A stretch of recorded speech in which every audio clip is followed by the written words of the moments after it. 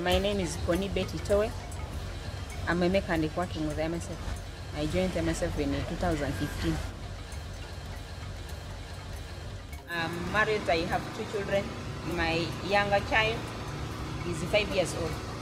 So when he sees me driving, he feels good. Even there was a day he told me that he, he wants to study so that he can also become a mechanic and he can drive as well.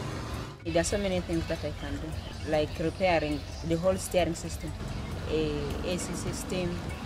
There are so many things that I can do in the in, in a car. What a man can do, a woman can do. So I'm encouraging ladies to join the mechanic. You should not see, see it as a man's work, but we women also we can do it. When I go home, to my mom, when I reach like this, they say, okay, this is our engineer, this is our girl, and this is an engineer. So they feel proud of me.